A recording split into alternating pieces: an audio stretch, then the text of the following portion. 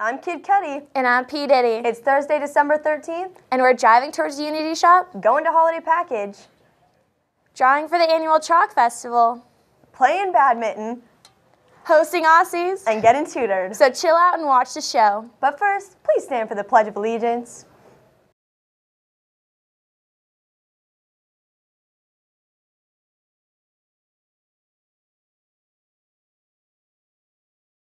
I pledge allegiance to the flag of the United States of America and to the republic for which it stands, one nation, under God, indivisible, with liberty and justice for all.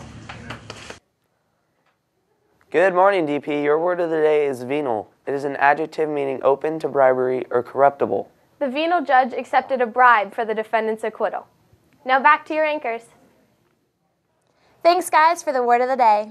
The penny drive is a win-win situation. Not only are you helping those in need, but the class who earns the most money will receive a pizza party, and the three runners-up will win a healthy snack for the class. So keep changing that can and fill her on up. Due to yesterday being a Disability Awareness Day, we will have collecting tomorrow for the week. If you are concerned about full cans or leaving too much money in your room unsupervised, email Scott Gutentag and leadership will pick it up.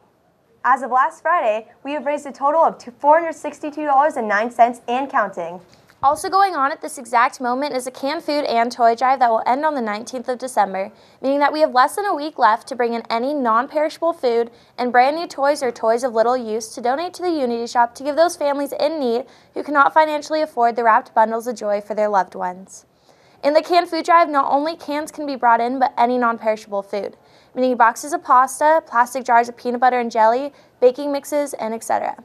The drop-off boxes can be found in the office, the Career Center, and P2.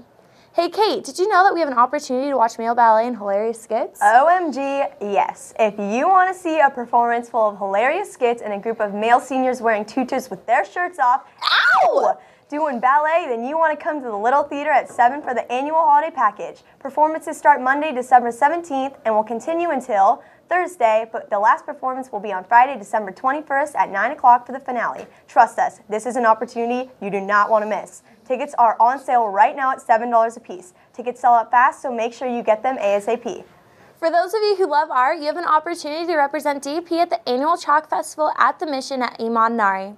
Signups can be found in any art classroom, and every day this week, a table can be found at lunch to sign up as well.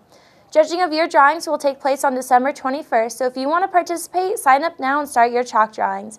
It's also a great opportunity to get CAS hours for IB students and art hours for the NAHS members. If you, if any of you need tutoring, please visit H17 on Tuesdays and Thursdays with Mrs. Beckstead, and Thursday tutoring will be with Mr. Gomez in B1. Australian students are coming back for our school for a week and a half, but there is not enough host families yet. We still have over 60 students and not enough housing, so if you are in 11th or 12th grade, contact Mrs. Beckstead and fill out information. It's an amazing opportunity to meet a student from down under, plus you will earn 20 hours of community service.